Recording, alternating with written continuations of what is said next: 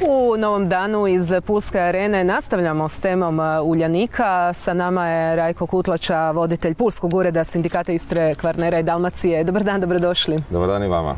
15 uh, tisuća uh, sudbina ovisi o sudbini brodogradilišta Uljanik. U stalnom ste kontaktu sa radnicima. Ima puno neizvjesnosti oko ove priče. Pa naravno da ima neizvjesnosti čim se priča o budućnosti, eventualnoj, eventualnog neimanja budućnosti, naravno da je, da je zabrinutost velika. Ne samo radnika Uljanika, neposrednih, ne samo male industrije koja je vezana uz Uljanik, to je neizvjesno za cijelu Pulu, Pula je u principu nastala uz Uljanik i živi uz Uljanik već 160. Što je najveći strah? E, evo kada razgovaramo sa sindikatima, kada razgovaramo sa radnicima, onda ističu da treba očuvati brodogradnju. Uljanik je simbol Pule, simbol ovog kraja, a gospodarski iznimno važan e, za cijelu Hrvatsku. Pa ja ću samo reći da Uljanik ovakav kakav je, dakle sa problemima e, svaku godinu samo kroz plaće u sustav vrati 600 milijuna kuna.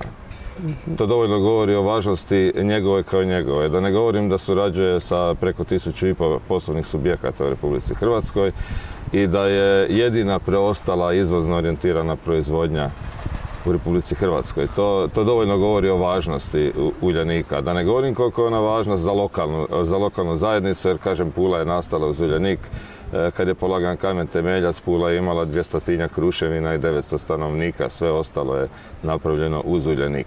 Ali nije važnost Uljanika lokalna, važnost Uljanika je nacionalna, ne samo Uljanika, cijele brodogradnje. Činjenica je što sam rekao da ne postoji izvozno orijentirana proizvodnja osim brodogradnje i onoga što se kroz brodogradnju izvozi jer to treba u stvari imati na umu da se kroz brodogradnju u stvari jedan veliki dio industrije može ostvarivati svoje, svoje poslovanje i svoje izvozne orijentacije. E, imamo ljude koji znaju, koji su stručni, ima ih e, dovoljno, a tvrtka je u gubicima. E, tko je tu krivi po vama? Hoće li se potegnuti pitanje čija je krivica?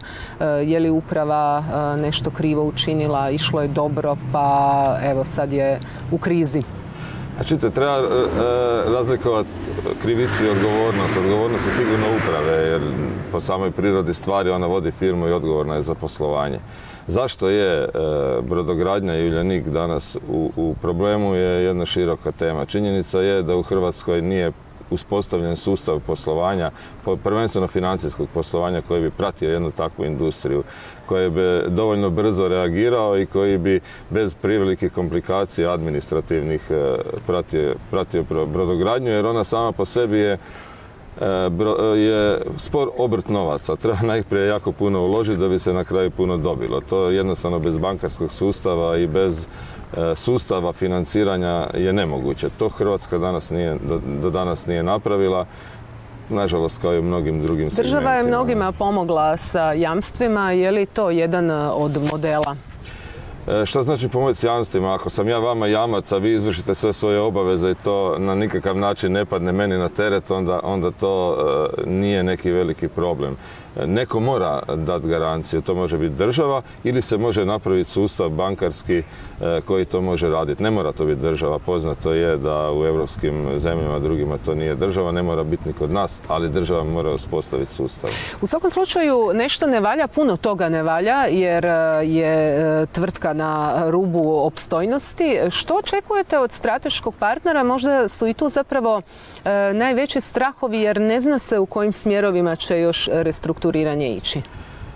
Očekujemo strateškog partnera da da inicijalnu inekciju brodogradnji kao prvo. Dobro, sad su dali ovaj o, da, da, naravno, naravno uh, ova posudba u svakom slučaju pokazuje ozbiljnost strateškog partnera da uđe u cijeli posao.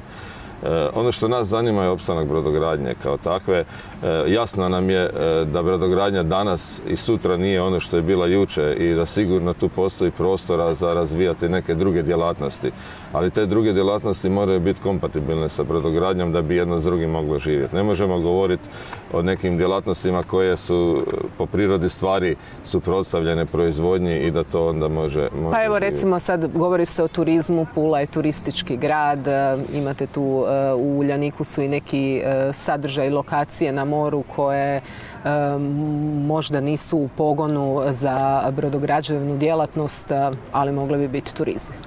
Pa zato kažem da sigurno postoji prostora da se razvijaju druge djelatnosti i da su kompatibilne. E, na početku se govorilo o izradi jedne, jedne marine koja bi mm usto bila e, za održavanje i za popravak brodica, što sigurno je kompatibilno sa brodogradnjom. Onda se pojavila priča o nekoj e, stanogradnji, da li je to komercijalne svrhe, da li je to što sigurno nije kompatibilno sa, sa brodogradnjom. Danas e, treba vidjeti u stvari u kom smjeru to sve ide, da li to je u održanju brodogradnje ili nije. Kako vam se čini način na koji je stabiliziran brodotrogir?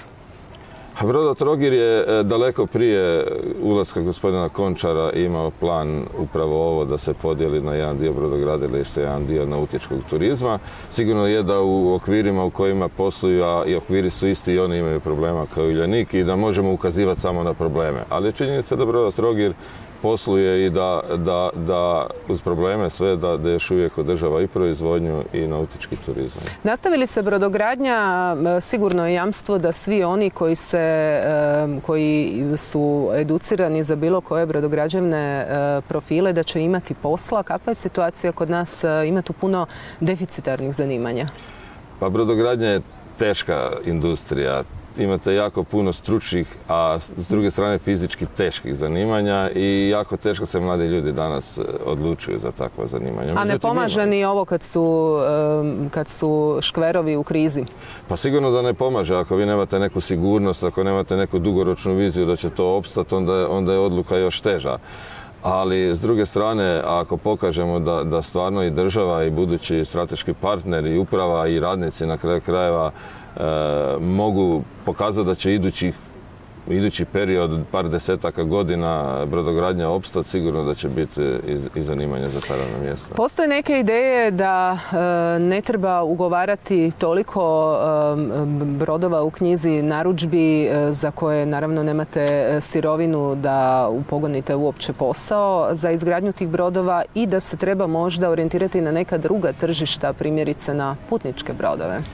Sigurno se treba maknuti od, e, od niša koje se rade na dalekom istoku, jer to sigurno ne možemo raditi, ne možemo biti konkurentni, ne samo zbog cijene rada, već i zbog toga što tamo država 10, 20 i 30% subvencionira proizvodnje brodova, već i zbog toga što je manje više i, i materijal. Oni su zakupili cijelu skoro svjetsku proizvodnju čelika. Mi ne možemo tome konkurirati. Ali možemo konkurirati baš na ovome dijelu gdje ste vi rekli na nekim na visoko tehnološki razvijenim proizvodima e, koji se rade nažalost e, u komadnim, e, u komadnim elementima ili ne rade, se, ne rade se serije brodova gdje bi se proizvodnja mogla pojeftiniti, ali se s druge strane kroz takvu proizvodnju može daleko kvalitetniji e, komponente e, koje se proizvode kod nas. Biće ovo više mjesečna priča za, za, za pratiti gospodine Kutlača. Hvala vam na ovom razgovoru. Hvala vama.